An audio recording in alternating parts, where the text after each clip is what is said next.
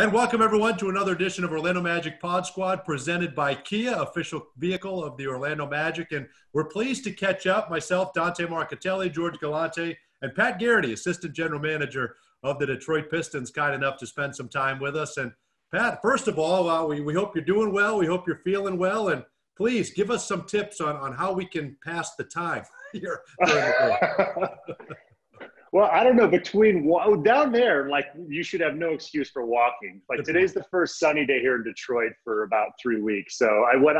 I just went for a walk. Um, I guess walking, re- worrying about your 401k, uh, wa- wa- watching CNN, like those are all like I, I, read this article on Erik Spoelstra today, and he actually looks like he had a very good way of dealing with this. He said his day hasn't changed at all, and then he, he reserves his time in the evening and afternoon for catching up on the news. But it's like the last thing he does in the day. So um, I, I, think that that's probably the right way to do it, and it's not good that I'm probably doing the opposite. But then, Pat, but do you want that? Do you, it's true. But do you want that all sitting in your head right before you go to bed, though? Do you want? Yeah, no, that's yeah, no, good point. Yeah, because it's not the news isn't getting any better. So no, yeah, you're you're right. No, it's funny you said that, Dante, because my wife that was the last thing she did the other night before she went to bed and she was up all night. I wake I wake up in the morning. I slept like a baby, and I woke up this, in the morning. I looked at her. I was like, "Are you okay?" And she's like, uh, "The last thing I did was check the news, and I wow. couldn't sleep all night." So uh, I don't advise that at all. Well, the, the, last thing I did last night was watch the first episode of Tiger King. So that didn't, didn't seem to put me in a bad place if I went to bed. we were going to get to. we were going to get to the instantly felt you instantly felt better about your life, didn't you? I tell you what, so there's seven episodes. I got through episode six before I cashed in my chips. But what are your what are your initial thoughts? Your initial thoughts on Tiger King? Well, I didn't know. First of all, I think I was the only person that didn't even know this guy existed until the show came out because I had people talking about him, and you know, everyone had a story of having heard about him or something like that um, yeah, no, I, my wife and I were just talking. It's just like it just goes to show there, like, there's something for everyone that like to get into in this world and, and like dedicate their life and passion to. That's a good way to put it. to put it. Dante was just upset to learn that a tiger only costs like three grand. Like, he, like he have one by now. I've never in my life been intrigued with owning one or petting one. It has never no. come across my mind, Pat, to go pay admission and, and hold a cub or pet a tiger. No, it, it, like the Cub thing was weird to me. That that was that was the whole deal was having a business just centered around petting cubs, and then you have like the rest of the tiger's life to like you know figure out what to do with because because the money the money making it was like money making right. period like three months and like you know imminent danger of killing you like the next 30 days. It seems like a pretty high risk reward. yeah. I don't know. I don't it's surprising that it would be a bad business model because he's Joe Exotic's a guy that seems like he's got it all together. I'm kind of surprised by that. What? So tell me about this. So we had here in Central Florida, we had our first week of homeschool, and I found out I'm not I'm not a great teacher uh, to this point. I've got a five and a six year old. I know you both remember those ages, uh, but we did our first week. How, how's Henry doing with homeschool? And are you guys are you guys pretty good teachers? Did you find Pat? Or well, no. Here's what here's so here's what happened. Uh, and he's a freshman in high school right now, and he's he's a really good student. He's done done really well. He doesn't love love school, but he does okay. really well. Puts effort into it. So he's he's a good student.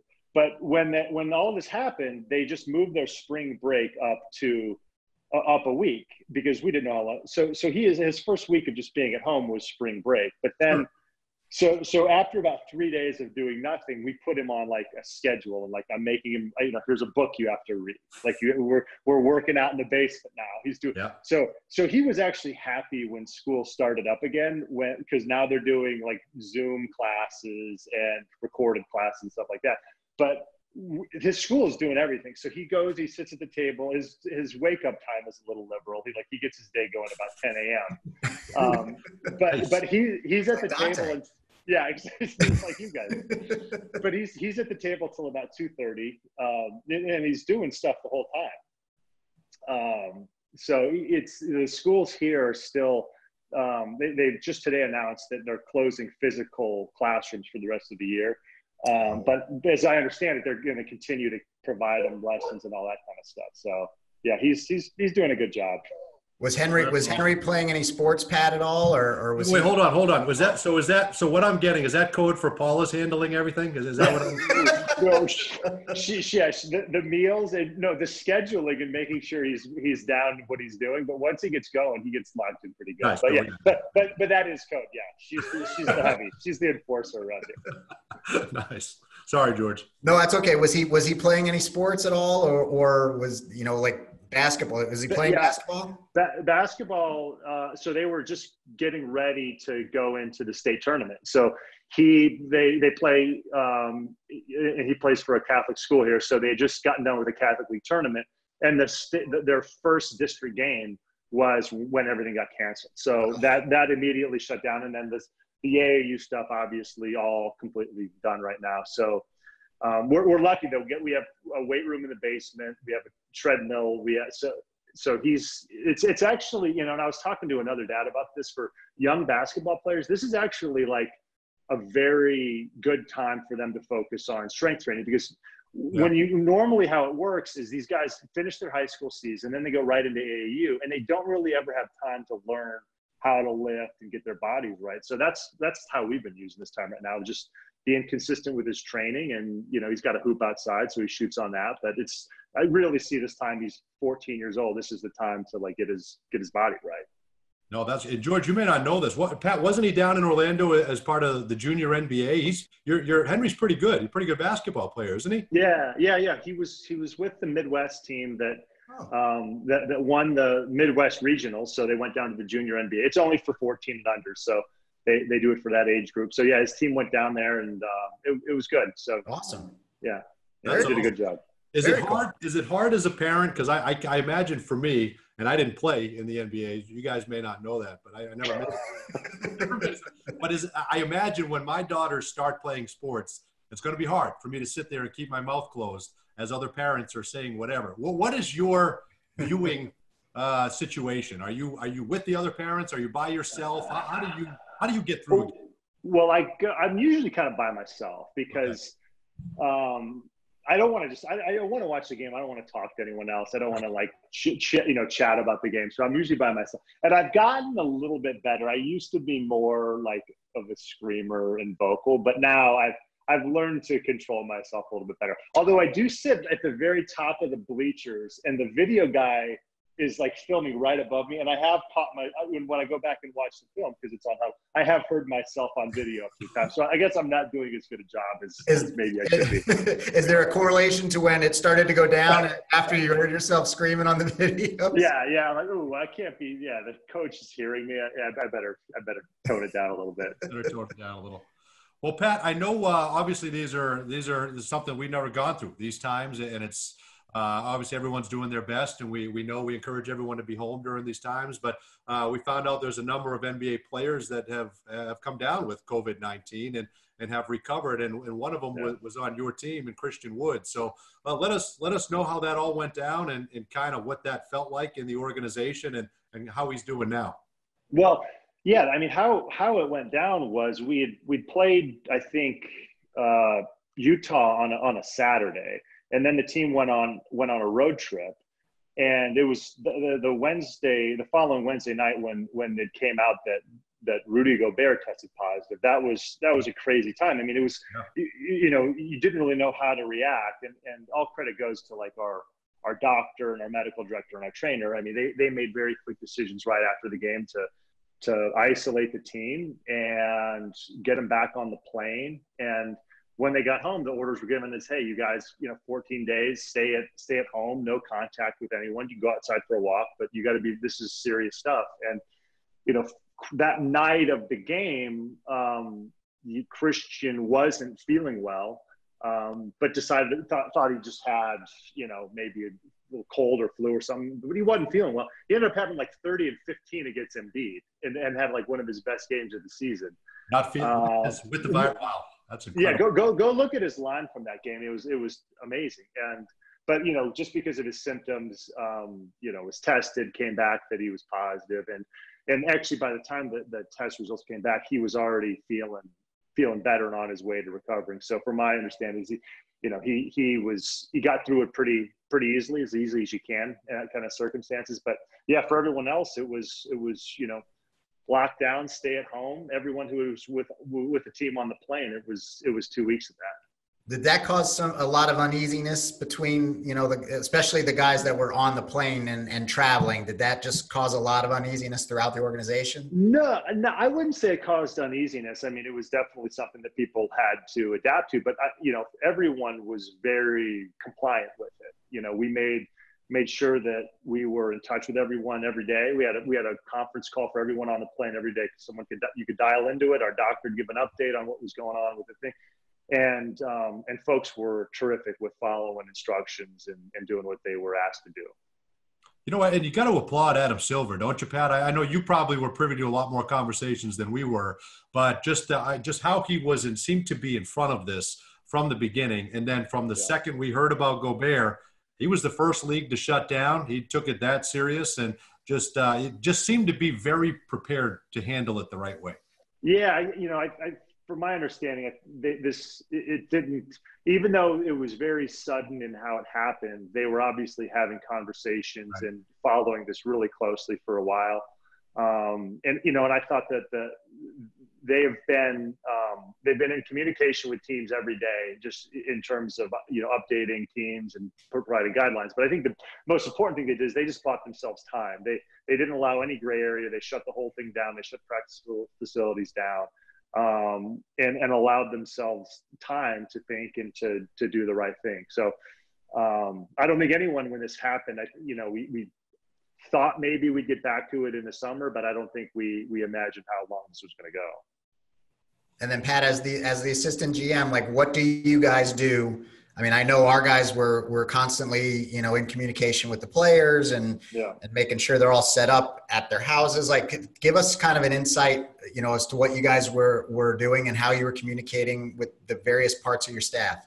Yeah, so I mean, we would the, the front office and you know leadership meet. We get on a call every day of what we were doing. I think that the main things were during that quarantine period was just taking care of people's daily living needs. Because you know a lot of these guys are young guys and um, you know they're used to just going out to eat every meal. So um, the, the the provider of our food service plum market um, stepped in right away. I mean we were delivering meals to guys. Um, you know leave it on the door knock on the door they'd come get it.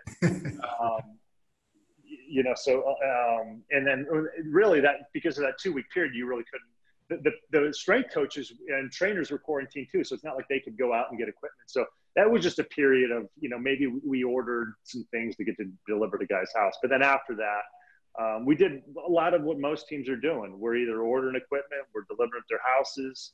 Um, you know, guys are finding tracks to go kind of work and, and, and run on and um, you know trying to trying to be clever with how we're making sure these guys are being fed and taken care of. Because i mean the last thing we want them to do is go to like a grocery store right now you know be walking around like it's the, the stay-at-home order in michigan here is is pretty much shut you know everything down. So it's just been a lot of trying to take care of the guys that have you know that are, that are around.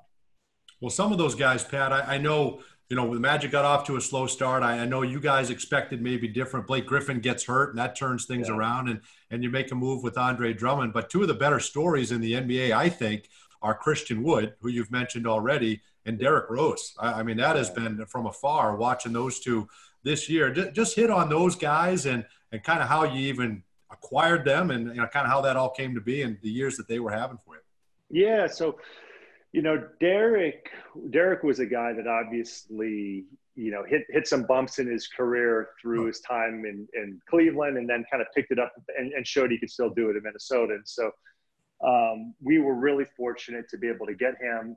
You know, and, and I had known about obviously how talented of a player he was. I, I didn't know about his level of professionalism and how how we really he's adored by his teammates. And so we got not only a good player, but we got a, a great leader in him too.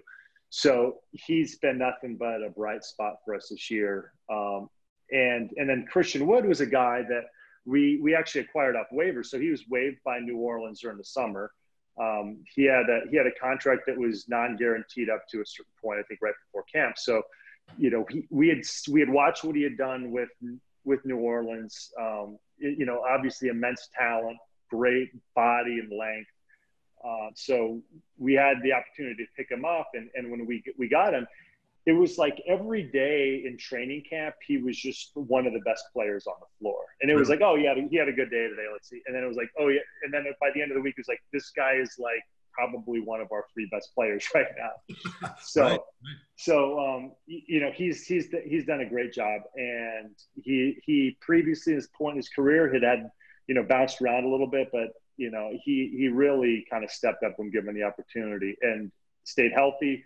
Banged up a few times, played through injury, so he he's had a terrific season for us. So did his development make it a little easier for you guys to to pull the trigger then with Andre? Uh, I wouldn't say that.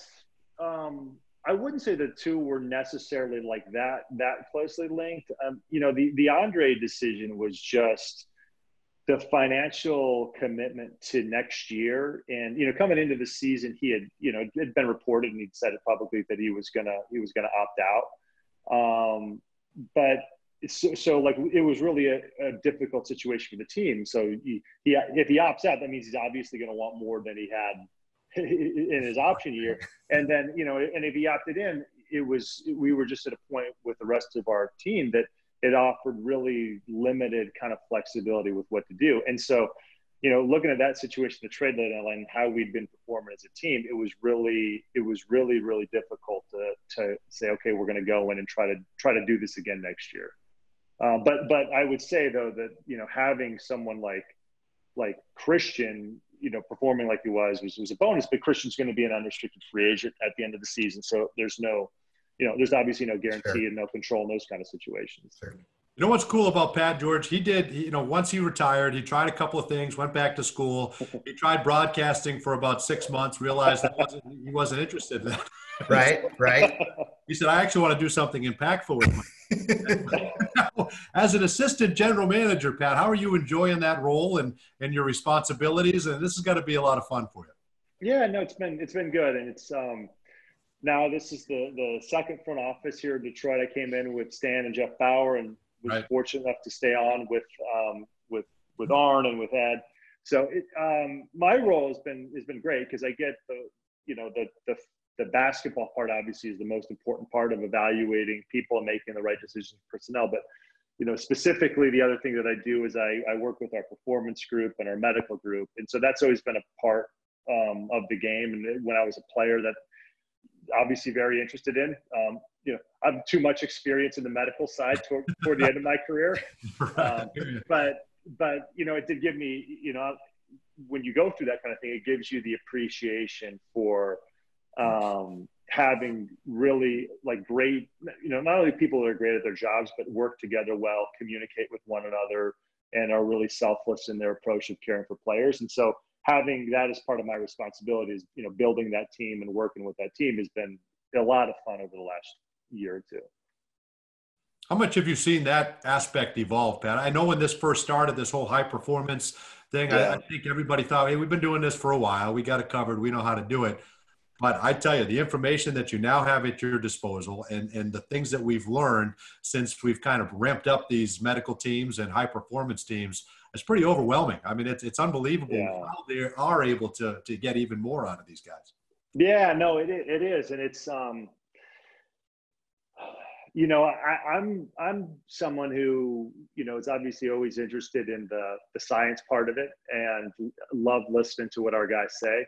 Um, the the part that I worry about a little bit is is make you know number one kind of overcomplicating what it takes to actually get a player physically prepared to play, and number two is kind of just and, and you have to be worried about it because when guys get injured um, and are not available, you can see what happened to our team this season. But but I think that there's also a danger of just being hyper focused on you know pushing these guys hard and doing too much and and so I, I it's a, it's an open question in my mind and like are we taking too conservative of an approach um, so that's I think that that's something that um, that everyone's struggling with right now. Sure. Yeah. As we try to cipher through this, you may or may not know this, but 20 year anniversary of the Heart and Hustle team, which is, uh-huh. I mean, makes me feel young thinking that was 20 years ago. Oh, we just put Darrell Armstrong into our uh, Orlando Magic Hall of Fame. Yeah. You know, since you've left and, and since you were retired and living in town, people, George and I talk about this all the time. People remember the 95 finals team. They remember the 09 finals team. But right up there with them, and in some mind ahead of them, is that heart and hustle team. Does it blow your mind, one, that it's been 20 years, and two, just how much impact that team had on this community? I feel like Pat has aged better than both of us, by the way. Like we, really? we got a little bit, of, we got a little, like, you know, like I'm, as I'm trying to play with this beard, I got gray everywhere, and Dante clearly has more gray than, than all of us combined, but and Pat's just sitting there. Is like, yeah, no big deal. I need to, yeah. My well, I've grown my hair out. My wife hates it because she's starting to see some gray. So I think I'm gonna have to go shorter right now. Um, okay. Um, well, no, the thing that I think about that team, and I don't know if if you go and ask like John Gabriel and those guys, like that was uh, the way I describe that team. That was the tank gone wrong. Yeah, really. it was the tank gone wrong. Like that. If, if there was like that was the first time. If you can, maybe there were other teams that that you look at how they dismantled that team that was knocking on the door of of finals with the guys that they had, and totally dis and, and it was the tanking playbook. Like originally, they got picks, got players on rookie contracts, cut payroll for you know, obviously the, the two max slots the next summer. But they went, it got it went wrong because they had they got the Hall of Famer in Ben Wallace. Right. Uh, you know, they had all these other players that you know they came in and contributed, and a coach that's probably going to be in the Hall of Fame too. Yeah, that's right. And guys, so, and guys that and guys that yeah. didn't know how to play any other way than everything you had. That, that's that's not part yeah. of the playbook either. No, no, and I think that that's the, the thing is is you know you you obviously took it for granted back then, but now if you're if you're looking in a position of trying to go that route where you're going young and you're saying, okay, we're going to put around them veterans that are going to be good veterans, but maybe you know not too expensive, that kind of like Darrell Armstrong, Bo Outlaw, Monty Williams, like those were the veterans on their team. You know, Chris Gatling for half the season, like those were the veterans on that team, and um, you know, they all had different personalities, but the one thing they all had in common is like when it came time to work and to practice and to play, like competing and going and being pros was the number one thing on the list. So, like, if you were a young guy like me and uh, Mike Doleac and you know Harper was there for a year, like that was the that was the only way there was was to, to go out there and work and compete. Yeah. And then now, if you don't, if, if you don't know Magic fans, if you look at the games played list, all time in Magic history.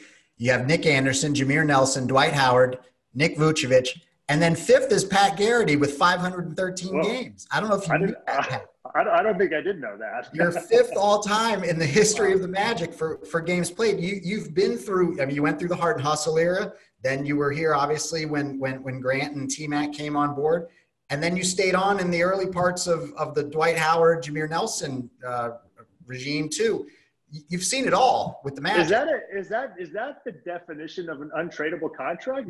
my contract didn't seem that bad. Well wait, well, wait a second. You've also, when you look back at your transactions, you've also been traded for Dirk Nowitzki and Penny Hardaway. That's what you should yeah. tell everybody. Like it was so good. No. They, they traded for and, Dirk and, and Steve Nash was it? And Steve Nash and Steve Nash. I mean, come on. Oh, that's funny. Yeah, no, I was like it's just when I think back, it blows my mind. I was in one place for so long. Like I was a role player. Like you're not like I was the type of player that should have just been bouncing around every couple years. So the fact that I was there for it was just you know blind luck. when you got you make the move, Pat, for Tracy McGrady, I know things. We all wish things worked out different with Grant, and and I know you got to know him well his time here, and he, no one did more than him to try to get out there. The guy did everything he could to be yeah, out there. Yeah. But to see Tracy become the player that he was, and, and to watch that on a nightly basis, I mean, that was for us to watch and witness was something special. I know it must have been yeah. for you too.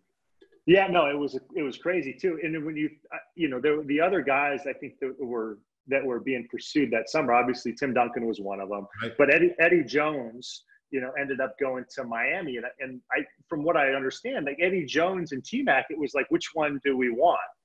Um, about that, wow. And, and Eddie Jones, obviously a great player, but like T Mac, yeah. Um, he, he, the the most amazing thing about him was like he everyone remembers him for his scoring Um, and obviously, he was a great scorer. I think he led the NBA in scoring. He and Iverson and Kobe were kind of.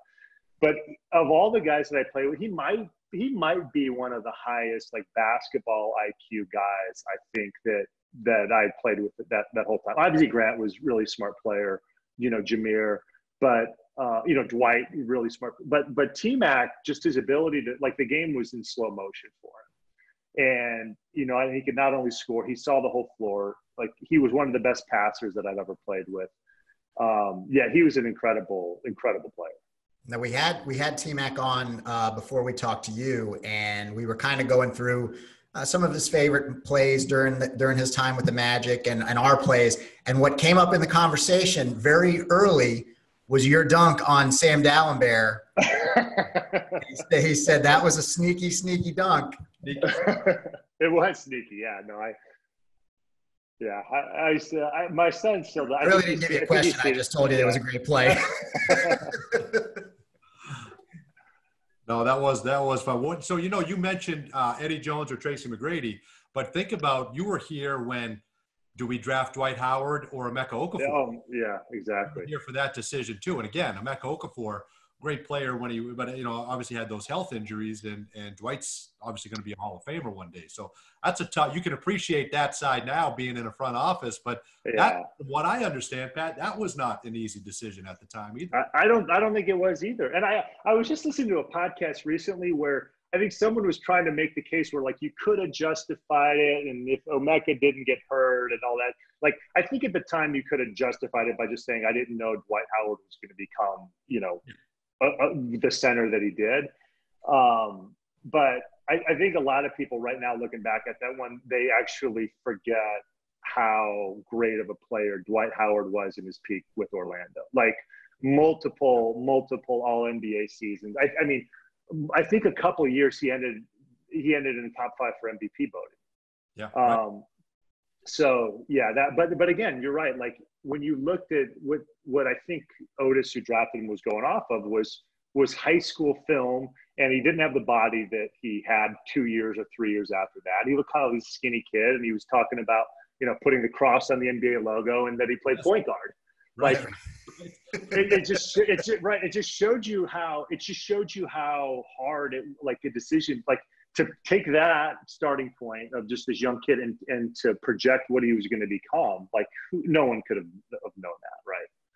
No, no way. Do you, do you remember the tape? Remember he came in for a workout. Do you remember the piece of tape that was at the RDV Sportsplex? On yeah, the yeah. I mean that. Yeah. That do you remember that, Dante? There was a yeah. piece of tape on one of the hoops uh, from when Dwight came in for his workout. How high would you think that that mark was, Pat?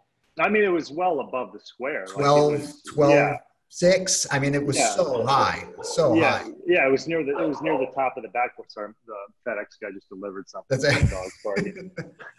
uh, yeah, no, and, and that's that's the one thing that I think that like when you're when you're faced with that kind of decision, like Dwight had physical tools that were like you know one in I don't know you know one in a million or something. Like he had elite physical tools compared to NBA players, and so I think in those kind of situations you just go with that and you say, look, we're gonna you know try to develop them. And and and luckily he not only had that but he had like extremely high basketball IQ and you know he didn't develop I, I think uh, he gets knocked for not developing kind of as an individual offensive threat.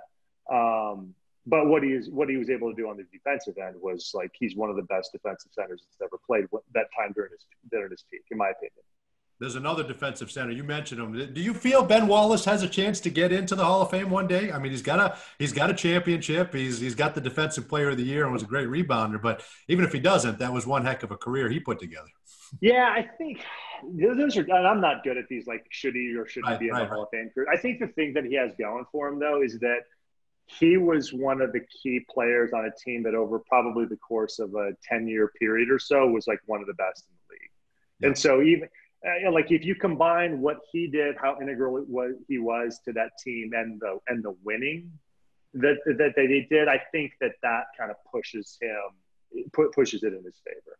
Yeah, certainly does. All right, lastly, Pat, I don't know about you, but we got lists of chores that I'm getting done. I'm building things. I'm putting things on the wall. Is there anything you've done? Are you are you you got a list that you're going through and getting stuff done at home? Ooh, yeah, I, I, wouldn't say it's it's it's a, a, list of. I'm not the most like handy person in the world, but it's a lot of well, a lot of Zoom conference calls, a lot yeah. of fil- film on draft guys. Yeah. Um, and these don't just, these don't sound like chores. These don't yeah. chores. That's work. That's work. Right. And yeah, and then walks and working out. Like it's pretty. It's pretty simple. So well, and now you and now and now you know that the Orlando Magic Pod Squad is out there. I saw you combing through past episode. Yeah. Which one are you looking forward to listening to the most? Oh, well, the Sid Powell, I think that's got to go to the top of the, the list. So I'm gonna, I think I'm gonna put that one on first, and then just work my way back. There you go. There you go. I, that's a good one to start with, I think. Right, Dante? It may surprise you that Sid didn't hold back on that. kind of a straight shooter, that guy. All right, Pat. We appreciate the time, man. Keep up the good work, and thanks for taking time to check in on us. And uh, and uh, stay safe. Most importantly, right. we'll catch up soon. All right, thanks everyone. Thanks guys. Right, Good seeing you guys. Magic Pod Squad, presented by Kia, the official vehicle of the Orlando Magic.